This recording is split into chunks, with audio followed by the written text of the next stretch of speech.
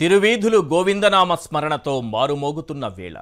భూలోకమంతా పండుగ వాతావరణం సంతరించుకున్న వేళ. దేవతలే వాహనాలుగా మారి వైకుంఠనాథునికి బ్రహ్మరథం పడుతున్న వేళ. బ్రహ్మోత్సవ శోభతో కలియుగ వైకుంఠం అలరారుతున్న వేళ. శ్రీనివాసుడు కొలువైన సప్తగిరులలో ఆధ్యాత్మిక వైభవం శోభిల్లుతున్న వేళ. నాలుగు మాడ వీధులలో ఎటు చూసినా నారాయణ తత్వం బోధపడుతున్న వేళ తిరుమల శ్రీ వెంకటేశ్వర స్వామి బ్రహ్మోత్సవాలకు సర్వం సిద్ధమైంది. వెంకటాద్రి సంస్థానం బ్రహ్మాండే నాస్తికించన వెంకటేశ సమోదేవో న భూతో న భవిష్యతి. వెంకటాద్రికి సమానమైన పుణ్యక్షేత్రం ఈ బ్రహ్మాండంలో లేదు. వెంకటేశ్వరునికి సమానమైన దైవం గతంలో లేరు భవిష్యత్తులో ఉండబోరు. అలాంటి వెంకటేశ్వర స్వామికి బ్రహ్మ స్వయంగా నిర్వహించే బ్రహ్మోత్సవాలకు దశ దిశల నుంచి భక్తులు తరలివస్తున్నారు. తిరుమాడ వీధులలో వాహన సేవలు స్వామివారిని దర్శించి పులకించి తరించిపోతారు. ధ్వజారోహణంతో ప్రారంభమయ్యాయి శ్రీవారి బ్రహ్మోత్సవాలు. తొమ్మిదవ రోజున ధ్వజ అవరోహణతో ముగుస్తాయి. తొమ్మిది రోజుల పాటు స్వామివారు ఒక్కో వాహనంపై ఊరేగుతూ దర్శనమిస్తారు. వక్షస్థల మహాలక్ష్మి సమేతంగా ఆవిర్భవించిన శ్రీనివాసుణ్ణి తరతరాలుగా ఎందరో భక్తులు ఎన్నో విధాలుగా సేవిస్తూ తరిస్తున్నారు. మందిర గోపుర ప్రాకార మహాద్వారాలు నిర్మిస్తూ వచ్చారు. వెంకటపతికి నిత్యోత్సవ వారోత్సవ పక్షోత్సవ మాసోత్సవ సంవత్సరోత్సవ బ్రహ్మోత్సవాలను అత్యంత భక్తి శ్రద్ధలతో నిర్వహిస్తున్నారు. ఎందరో రాజులు స్వామివారికి సేవ చేసుకుని తరించారు. ఆకాశరాజు తొండమాన్ చక్రవర్తి పల్లవరాణి సామవై విజయనగర సామ్రాజ్యాధీశులు సాళువ నరసింహులు కృష్ణదేవరాయలు తిరుమలరాయలు అచ్యుతరాయలు ఇలా ఎందరో అద్భుత నిర్మాణాలు చేపట్టి సేవించి తరించారు. ఈరోజు రాష్ట్ర ముఖ్యమంత్రి ప్రజల తరపున మరి కాసేపట్లో శ్రీవారికి పట్టు వస్త్రాలు సమర్పించబోతున్నారు.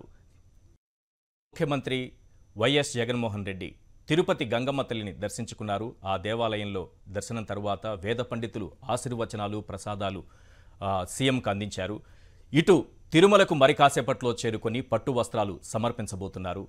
అసలు ఈ నవరాత్రి బ్రహ్మోత్సవాలలో అత్యంత కీలకమైనటువంటి ఘట్టం ధ్వజారోహణంతో ఈ కార్యక్రమాలన్నీ ప్రారంభమవుతాయి.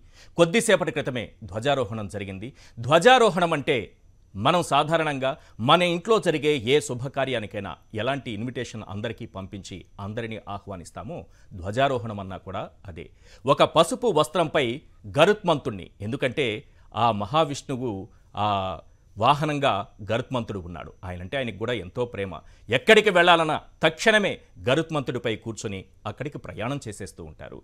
ఆ గరుత్మంతుని బొమ్మను దానిపైన చిత్రీకరిస్తారు. దీన్నే గరుడ ధ్వజపటము అంటారు. ఈ గరుడ ధ్వజపటాన్ని ధ్వజస్తంభం పైన ఎగురవేస్తారు శాస్త్రోక్తంగా మంత్రోచ్చారణల మధ్య. ఇలా ఎగురవేయడం ద్వారా ఇక్కడ శ్రీవారి బ్రహ్మోత్సవాలు జరుగుతున్నాయని సకల లోకాలలోని సమస్త దేవతాగణానికి ఒక ఇన్విటేషన్ పంపించినట్టు అవుతుంది. ఇది ఆహ్వాన పత్రం. దీన్ని ఆహ్వాన పత్రంగా భావించవచ్చు. ఇప్పుడు ఆహ్వానం అందింది కాబట్టి దేవతలందరూ కూడా ఇక్కడికి వచ్చి ఈ బ్రహ్మోత్సవాలను ఈ తొమ్మిది రోజులు తిరుమలలోనే ఉండి ఈ బ్రహ్మోత్సవాలను తిలకిస్తారు. బ్రహ్మ స్వయంగా నిర్వహించే ఉత్సవాలు కనుకనే వీటికి బ్రహ్మోత్సవాలనే పేరు వచ్చింది ఉత్ ఉత్కృష్ట శ్రవహ ఉత్సవ అంటే ఉత్కృష్టమైనటువంటి యజ్ఞం ఇది. ఉత్కృష్టమైన యజ్ఞం అంటే ఏంటి? ఒక యజ్ఞం చేసేటప్పుడు మనం ఎంత భక్తి శ్రద్ధలతో చేస్తాము? ఎంత శ్రద్ధ పెట్టి దాన్ని చేస్తాము? ఆ యజ్ఞం అప్పుడే ఫలితాన్ని ఇస్తుంది అలాగే ఉత్సవం చేసేటప్పుడు కూడా మనం పూర్తిగా దానిపైనే మనసును ఉంచి అంటే ఏ రకంగా చేస్తారంటే అంకురార్పణతో మొదలవుతుంది విత్తనాలను మొలకెత్తింపచేసి. నిన్నటి రోజున అది జరిగింది. ఆ విత్తనాలు మొలకెత్తడంతో ఎప్పుడైతే విత్తనాలు మొలకెత్తాయో ఇక్కడి నుంచి ఉత్సవాలకు అంకురార్పణ జరుగుతుంది. ఆ తర్వాత ధ్వజారోహణం ఇప్పుడు నేను చెప్పాను కదా కొద్దిసేపటి క్రితమే ధ్వజారోహణం జరిగింది. ఈ ధ్వజారోహణం ద్వారా స్వామివారికి ఇక్కడ బ్రహ్మోత్సవాలు జరుగుతున్నాయని సకల లోకాలలోని సమస్త దేవతా గణానికి ఇక్కడి నుంచి ఆహ్వాన పత్రిక పంపించారు. ఇప్పుడు దేవతలందరూ ఇక్కడికి వేంచేసి ఇక్కడే ఉండి ఈ బ్రహ్మోత్సవాలను కనులారా వీక్షించి ఆ తరువాత వారి వారి లోకాలకు వెడతారు. మరి దేవతలు అక్కడి నుంచి వచ్చి ఇక్కడికి బ్రహ్మోత్సవాలను తిలకిస్తుంటే సామాన్య భక్తజనం మనం రామా? అందుకే దశ దిశల నుంచి ప్రపంచవ్యాప్తంగా ఉన్నటువంటి భక్తులందరూ కూడా తిరుమలకు వస్తుంటారు. బ్రహ్మోత్సవాలలో స్వామివారికి చేసేటటువంటి వాహన సేవలను చూసి తరిస్తుంటారు.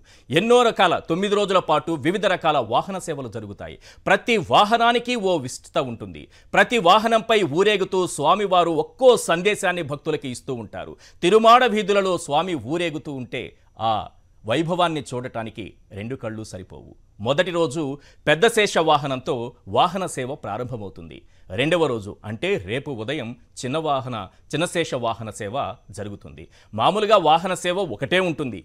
కానీ శేషవాహనం పెద్ద శేషవాహనం ఆ తర్వాత రెండవ రోజు చిన్న శేషవాహనం ఎందుకు స్వామి రెండుసార్లు శేషుడికి అంత అవకాశం కల్పించారు? శేషుడంటే ఆయనకు ప్రాణం. శేష తల్పంపై ఆయన పవలిస్తారు కదా. ఆ శేషుడే కదా ఆయన హాయిగా నిద్రపోవడానికి అవకాశం కల్పిస్తోంది. అలాంటి శేషునికి రెండుసార్లు ఊరేగే తనను తీసుకుని మా తిరుమాడ వీధులలో ఊరేగేటటువంటి గొప్ప అవకాశాన్ని ఆ శేషునికి కల్పించారు శ్రీ వెంకటేశ్వరుడు. అందుకే ముందు రోజు ఏడు తలల పెద్ద శేషవాహనంపై ఊరేగే శ్రీవారు రెండవ రోజు ఉదయం ఐదు తలల శేషవాహనంపై ఊరేగుతారు. ఆ వైభవాన్ని వర్ణించాలంటే నేను ఇంకొకరో ఇంకొకరో సరిపోరు. ఇంకా చెప్పాలంటే వేయి తలల శేషునికి కూడా సాధ్యం కాదు. అంత వైభవంగా జరుగుతుంది ఈ శేషవాహన సేవ. అలాగే ప్రతి సేవ కూడా అలాగే జరుగుతుంది. చివరిగా జరిగేటటువంటిది అవభృత స్నానం. శ్రీవారి చక్రతాళ్వార్ శ్రీవారి దగ్గర ఉన్నటువంటి చక్రతాళ్వార్కు అక్కడ ఉన్నటువంటి కోనేరులో స్నానం చేయించడాన్నే అవభృత స్నానము అంటారు. అంటే ఒక యజ్ఞం మనం ఇదివరకే అనుకున్నాం. యజ్ఞం అనేది చాలా గొప్పగా చేయాల్సిన అవసరం ఉంటుంది. ఆ యజ్ఞానికి ఎటువంటి ఆటంకాలు రాకూడదు. ఎటువంటి అడ్డంకులు రాకూడదు. ఇవన్నీ ఎవరు చూడాలి? ఆ చక్రతాళ్వారు చూడాలి. అందుకే చివరిగా అవభృత స్నానాన్ని నిర్వహిస్తారు. దీనికే చక్రస్నానం అని పేరు. శ్రీవారి కోనేరులో చక్రస్నానం నిర్వహిస్తున్న సమయంలో భక్తులందరూ గోవిందా గోవిందా గోవిందా అంటూ మూడు మునకలేసిలేస్తారు ఏ కష్టాలున్నా తొలగిపోతాయి. ఎటువంటి పాపాలున్నా తొలగిపోతాయి. కోరికున్న కోరికలు నెరవేరుతాయి. అన్నీ కూడా ఆ మూడు మునకలతో చక్రతాళ్వార్తో పాటు మనము మునిగి మూడుసార్లు గోవిందా గోవిందా అంటే చాలు. మనం కోరుకున్నది జరుగుతుంది. మనలో ఉన్న పాపాలన్నీ కూడా తొలగిపోతాయి. అంత విశిష్టమైనటువంటి అంత గొప్ప బ్రహ్మోత్సవాలు జరుగుతున్న వేళ ముఖ్యమంత్రి వైఎస్ జగన్మోహన్ రెడ్డి ఈరోజు శ్రీవారికి పట్టు వస్త్రాలు సమర్పించబోతున్నారు. పూర్వకాలం నుంచి కూడా రాజులు అనేక మంది ఎన్నో రకాలుగా సేవలు చేసుకున్నారు. గోపురాలు నిర్మించారు మందిరాలు నిర్మించారు స్వామివారికి ఆభరణాలు సమర్పించుకున్నారు రహదారులు వేశారు వాటిని ఆలయాల జీర్ణోద్ధరణ చేశారు. ఇలా రకరకాలుగా అనేక మంది రాజులు చేస్తూ వచ్చారు. ముఖ్యంగా తిరుమలలో వెలసినటువంటి శ్రీ వెంకటేశ్వరునికి సేవ చేయనటువంటి రాజులు లేరు. అంటే ఒక రాజు సేవ చేస్తున్నాడు అని అంటే ఆ రాజు తన రాజ్యంలో ఉన్నటువంటి ప్రజలందరూ సేవ చేస్తున్న అవకాశాన్ని కల్పించినట్టే. ఈరోజు రాష్ట్ర ముఖ్యమంత్రిగా రాష్ట్రానికి ముఖ్యమంత్రి అయినా సరే రాజ్యానికి రాజైనా సరే పట్టు వస్త్రాలు సమర్పిస్తున్నారు అంటే అది రాష్ట్రం తరపున. ఒక రాజు సమర్పిస్తున్నాడంటే అది రాజ్యం తరపున. ఈరోజు రాష్ట్రం తరపున ముఖ్యమంత్రి పట్టు వస్త్రాలు సమర్పిస్తున్నారంటే అది మనమందరూ సమర్పించినటువంటి భాగ్యం మనకు కలిగినట్టే. ఆ గొప్ప అవకాశం ఒక ముఖ్యమంత్రి చేతుల మీదుగా జరుగుతున్నప్పటికీ కూడా మనకందరికీ ఆ పుణ్యఫలం మనందరికీ కూడా దక్కుతుంది. బ్రహ్మోత్సవానికి సంబంధించి ఆ వాహన విశిష్టం ఏంటి? ఈ వాహన సేవలేంటి? ఈ బ్రహ్మోత్సవాలలో శ్రీవారిని దర్శించుకుంటే కలిగే పుణ్యఫలము ఏంటి? అలాగే ఆగమ శాస్త్రం ప్రకారం ఈ ఏ ఆగమ శాస్త్రం ప్రకారం వైఖానస ఆగమ శాస్త్రం ప్రకారం ఇవి జరుగుతూ ఉంటుంది. ఆ శాస్త్రం ఏం చెబుతోంది? ఇలాంటి అంశాలన్నీ మనం మాట్లాడుకుందాం. అలాగే మనం శ్రీ వెంకటేశ్వరుణ్ణి స్మరించుకున్న ప్రతి సందర్భంలోనూ మనకు గుర్తొచ్చే పేరు అన్నమయ్య. అన్నమయ్య కీర్తనలు కూడా ఈ సందర్భంలో వింటూ ఈ వాహన సేవల విశిష్టతలు తెలుసుకుంటూ ఈ కార్యక్రమాన్ని కొనసాగిద్దాం.